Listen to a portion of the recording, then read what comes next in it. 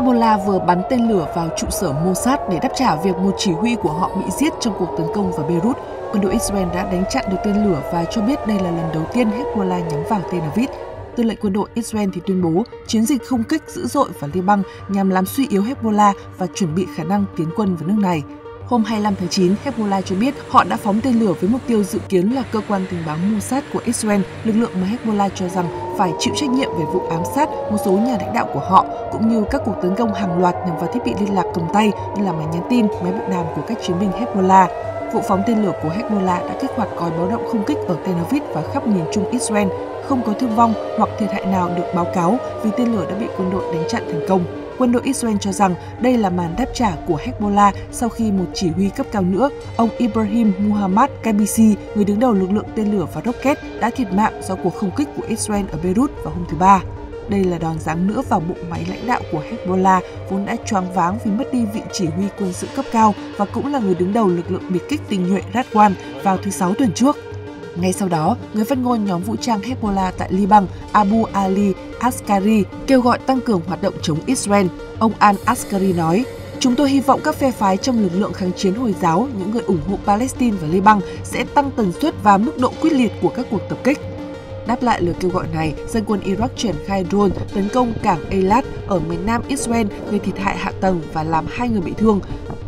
trong một thông báo, nhóm này cho biết lực lượng kháng chiến Hồi giáo tại Iraq đã tấn công mục tiêu chiến lược ở Eilat bằng thiết bị bay không người lái drone hôm 25 tháng 9. Lực lượng phòng vệ Israel IDF cùng ngày xác nhận một drone được phóng từ Iraq đã tấn công cảng Eilat ở miền nam đất nước, gây thiệt hại cơ sở hạ tầng và khiến hai người bị thương nhẹ. Cả hai người trong tình trạng ổn định và không cần nhập viện. Hình ảnh hiện trường cho thấy drone phát nổ khi lao xuống cảng Eilat khiến khói bốc lên và gây hư hại một nhà kho tại cảng.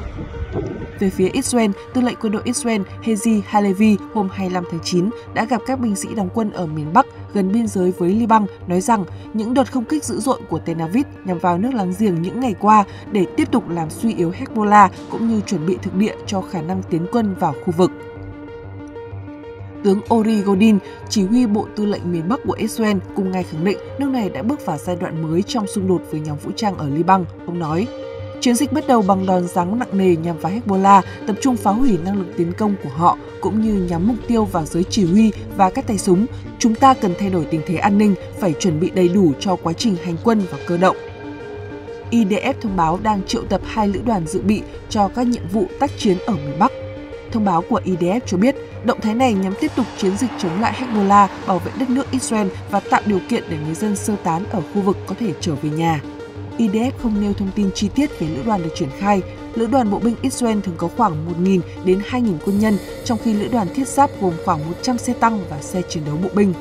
Trước tình hình này, Mỹ và Pháp đang khẩn trương thảo luận một kế hoạch nhằm giảm căng thẳng giữa Israel và Hezbollah, đồng thời nối lại thỏa thuận ngừng bắn và đàm phán về con tin ở Gaza. Mỹ và Anh cũng đang cử lực lượng quân sự tới đảo Ship để hỗ trợ cho việc sơ tán công dân rời khỏi Liban. Đầu tuần này, thư ký báo chí Lầu Năm Góc Thiếu tướng Pat Ryder cho biết quân đội Mỹ sẽ triển khai một số lượng nhỏ quân nhân Mỹ tới khu vực, nhưng ông từ chối cho biết có bao nhiêu binh sĩ Mỹ được triển khai cũng như họ được điều đến đâu và thuộc lực lượng nào. Trong tuyên bố mới nhất, Lầu Năm Góc nói rằng quân đội Mỹ không cung cấp hỗ trợ tình báo cho Israel trong các hoạt động tại Liban. Người phát ngôn Lầu Năm Góc Sabrina Singh nhấn mạnh, khi nói đến Liban, quân đội Mỹ không tham gia các hoạt động của Israel. Trong khi đó, Ngoại trưởng Iran Abbas Araghchi tuyên bố Tehran sẽ không đứng ngoài cuộc nếu xảy ra chiến tranh toàn diện giữa Israel và Hezbollah. Chưa rõ liệu Israel có phải sắp phát động cuộc tấn công trên bộ nhằm vào miền nam Liban hay không, nhưng những diễn biến hiện nay cũng khiến dư luận đặt câu hỏi là Thủ tướng Israel Benjamin Netanyahu đang tính toán điều gì, nhất là khi xung đột ở giải Gaza vẫn chưa có lối thoát và tình trạng bạo lực ở bờ Tây đang gia tăng. Giới quan sát cho rằng mục tiêu đầu tiên của chiến dịch không kích là làm suy yếu Hezbollah, nhau đối đầu với Israel hàng thập kỷ qua. Các quan chức Israel giải thích rằng đợt tập kích mới vào Liban nhằm giải quyết tình hình căng thẳng ở miền Bắc đất nước. Ước tính hơn 67 người Israel phải rời bỏ nhà cửa ở khu vực này do các cuộc phóng rocket của Hezbollah, cũng như lo ngại về nguy cơ bị đột kích và bắt cóc như Hamas từng làm hồi tháng 10 năm 2023 giới chức Israel tuyên bố không thể chấp nhận phải từ bỏ sử dụng một phần lãnh thổ như vậy. Tuy nhiên, các nhà phân tích cho rằng cư dân ở miền Bắc Israel khó có thể đủ can đảm trở về nhà nếu mối đe dọa Hezbollah không được đẩy lùi ra xa biên giới. nhà phân tích chính trị Israel Michael Horowitz cho biết Thủ tướng Netanyahu muốn gây áp lực buộc Hezbollah đồng ý ngừng tấn công biên giới ngay cả khi không có thỏa thuận ngừng bắn ở giải Gaza. Nhà phân tích Horowitz nói, Tôi nghĩ chiến lược của Israel rất rõ ràng, đó là từng bước gây áp lực lên Hezbollah, tấn công mạnh mẽ hơn để buộc họ suy nghĩ lại về chiến lược đoàn kết với Hamas. Đại tá về hưu Miri Esen, thành viên cấp cao tại Viện chống khủng bố quốc tế thuộc Đại học Redman ở Israel cho rằng Tel Aviv coi tăng hoạt động quân sự chống Hezbollah là bước thiết yếu để đạt thỏa thuận nhằm giảm leo thang. Đại tá về hưu Miri Esen nói, giới lãnh đạo Israel cho rằng thứ ngôn ngữ duy nhất Hezbollah lắng nghe là vũ lực và sức mạnh, nên những hành động chống lại họ cần phải mạnh tay. Tôi ước mọi chuyện khác đi, nhưng chưa thấy giải pháp nào ngoài hành động quân sự. Giới chức Israel cho biết đang tập trung cho hoạt động trên không, nhưng mà Essen dự đoán Tel Aviv sẽ tiến hành chiến dịch trên bộ để đạt mục tiêu lớn hơn, đó là đảm bảo Hezbollah không thể thực hiện điều tương tự cuộc đột kích của Hamas vào ngày 7 tháng 10 năm 2023. Đại tá về hưu Miri Essen nói, Tôi nghĩ có khả năng diễn ra chiến dịch trên bộ vì Israel cần đẩy Hezbollah ra xa biên giới. Ngoài mong muốn làm suy yếu Hezbollah, giới quan sát cho rằng mục tiêu chính trị ngắn hạn cũng có thể đã thúc đẩy chính phủ của ông Netanyahu tăng cường tập kích nhóm vũ trang Liban. Ông Netanyahu vẫn chịu áp lực từ cáo buộc gian lận, tham nhũng, làm xói mòn niềm tin và dự kiến dự phiên xét xử cáo buộc tham nhũng vào đầu tháng 12. Ông bị truy tố từ tháng 1 năm 2020 và phiên tòa bắt đầu sau đó vài tháng. Bowen Murdoch, nhà phân tích của tổ chức Chatham House ở Anh cho hay, nhiều người cho rằng tình trạng xung đột kéo dài sẽ giúp ông tiếp tục nắm quyền và trì hoãn việc xét xử.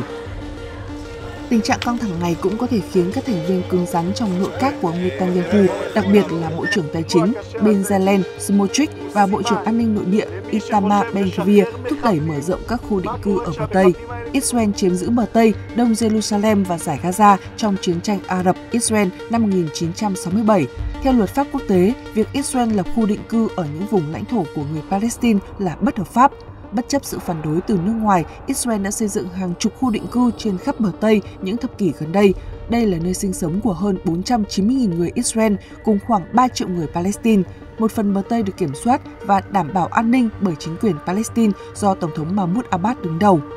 Ông Maddox cho hay nhiều lãnh đạo phương Tây lo ngại Israel đang sử dụng chiến dịch ở Gaza và căng thẳng với Hezbollah để đánh lạc hướng chú ý của dư luận quốc tế về vấn đề bờ Tây. Mục tiêu chiến lược lớn hơn của Israel có thể là chống lại Iran. Lãnh đạo trục kháng chiến gồm các nhóm vũ trang như là Hezbollah, Hamas và Houthi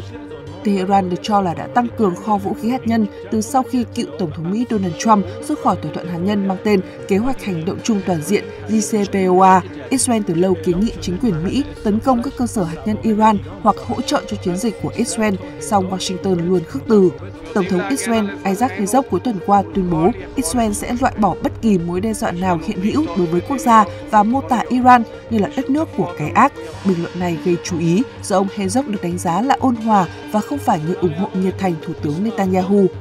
Đối với những quốc gia đang nỗ lực ngăn nguy cơ chiến tranh khu vực, điều họ lo ngại là Israel có thể dừng cuộc tập kích vào Liban để mở cánh cửa cho chiến dịch tấn công các cơ sở hạt nhân Iran. Nhà phân tích Bowen Maddock nhận định, Israel có thể hy vọng rằng sau khi vô hiệu hóa Hezbollah tới mức cần thiết trong những tháng tới, họ sẽ rảnh tay đối phó Iran mà không cần phải lo lắng về biên giới phía Bắc. Tuy nhiên, các nhà quan sát cảnh báo đây là chiến lược đầy rủi ro, leo thang xung đột ở phía Bắc hoặc phía Đông Israel sẽ không mang lại giải pháp để giải quyết xung đột ở Gaza. Cuộc đàm phán ngừng bắn và thả con tin giữa Israel và Hamas không tiến triển tốt. Mỗi bên đã thêm điều kiện đàm phán mới. Israel muốn duy trì kiểm soát hành lang Philadelphia dọc biên giới Gaza Ai Cập, trong khi Hamas muốn tăng số lượng tù nhân trao đổi. Nếu không có lệnh ngừng bắn, triển vọng về một nhà nước của người Palestine cũng trở nên u ám. Điều đó khiến Israel có nguy cơ đánh mất thêm ủng hộ từ quốc tế. Ngoài ra, xung đột lan rộng cũng khiến Israel mất cơ hội bình thường hóa quan hệ với Ả Rập Xê Út, vốn được xem là cánh cửa giúp Tel Aviv nhận được sự giúp đỡ từ các nước láng giềng trong nỗ lực ngăn chặn mối đe dọa từ Iran. Tuy nhiên, Thủ tướng Netanyahu cùng nội các của ông lúc này dường như không lo lắng quá nhiều về điều đó. Phát biểu khi đến thăm một căn cứ tình báo Israel hôm 24 tháng 9, ông Netanyahu khẳng định chúng ta sẽ tiếp tục tấn công Hezbollah. מחסלים מחבלים